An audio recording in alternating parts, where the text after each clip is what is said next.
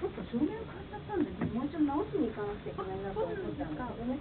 あの昨日撮影したんだけど、うん一応カメラマン入ったんだけど、うんあまりのカメラマン、本当に撮ってらっしゃる瀬松さんか。瀬松さんなんだ。あ、すごい人多分あったんだけど、うん、ふうにやってくださったんだけど、全部ちょっと違っちゃったので、撮影用に変えちゃったのね。だか。らちょっと買いに行くの忘れちゃったね。いいあ、そうだった。うん今奥の方って言われて。この間あの中までは入らなかったんで、うん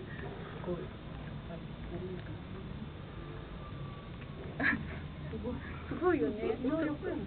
そうですね。あの先に送り出しました。それはでは言っちゃダメってね。ついに言っちゃダメ。いやいやあの稲垣と二人で。今日彼女ちょっとあの外で仕事をしてるので、うん。同時に行かなきゃとかもしれないね。そうそうみん。な噂してる。私たちもね、私たちも撮ってもらわなきゃ。